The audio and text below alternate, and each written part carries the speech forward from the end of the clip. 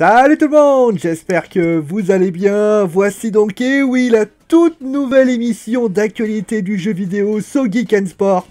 Elle s'intitule tout simplement le journal du jeu vidéo et vous résumera les informations principales de l'actualité jeu vidéo ludique. Et donc comme c'est une version test, et oui ça va être une version maquette, vous pourrez me dire voilà ce que vous avez pensé de cette vidéo, du concept et de tout le reste. Ce seront en tout cas exceptionnellement, ça sera l'actualité de vendredi qui vous sera relaté. Donc durant cette émission, on parlera de Respawn Entertainment qui a été racheté par Electronic Arts. On parlera ensuite d'Overwatch avec un nouveau week-end d'essai. Et on terminera avec Nintendo. La firme a de l'ambition pour la Switch. On va commencer déjà avec la première information de ce journal. Respawn Entertainment, créateur du fameux Titanfall notamment, a annoncé le rachat par Electronic Arts.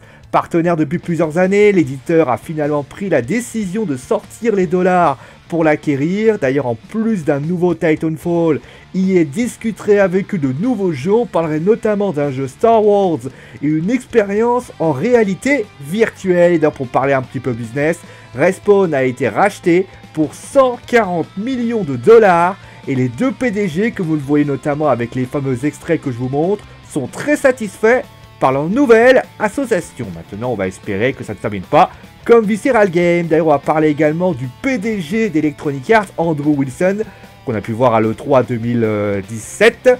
Et notamment, il voit l'abonnement mensuel à la Netflix très intéressant. Donc en clair, un abonnement mensuel qui vous permettrait d'obtenir des jeux qui sera mis à jour tous les ans. Pour faire simple, vous achetez FIFA et chaque année, par votre abonnement, il se met à jour tout seul. En tout cas, c'est une grande nouveauté, ambitieuse mais aussi très dangereuse. On passe maintenant à Overwatch avec une nouvelle session vous pourrez jouer comme vous le voulez. Cela aura lieu le week-end prochain. Alors est-ce que c'est pour permettre de tâter, de tâter du Moira et la nouvelle map Blizzard World? Moi en tout cas, je serai là et on va faire de nouvelles victimes et essayer d'avoir mon Voilà, oh, Et on termine donc avec la Nintendo Switch dont l'ambition est très forte. En effet, le créateur de cette chère console a pour ambition de vendre le double des ventes d'aujourd'hui à la fin de l'année fiscale. Traduction, il veut 14 millions de ventes.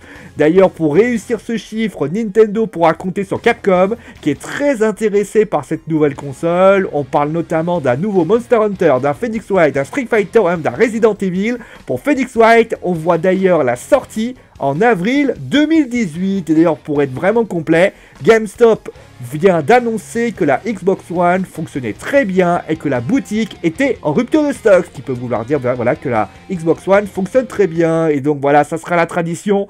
Avant la fin de l'émission, vous propose une bonne annonce. Et aujourd'hui, ça sera Dead by Daylight, A Nightmare on Hell Street, où vous pourrez jouer avec notre cher Freddy pour ceux qui aiment beaucoup les films d'horreur. Allez, prenez soin de vous et vive les jeux vidéo